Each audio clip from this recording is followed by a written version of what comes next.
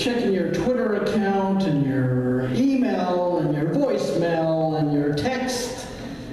I don't know how anybody has time to do anything else nowadays, do they? So glad to see you. That's fine.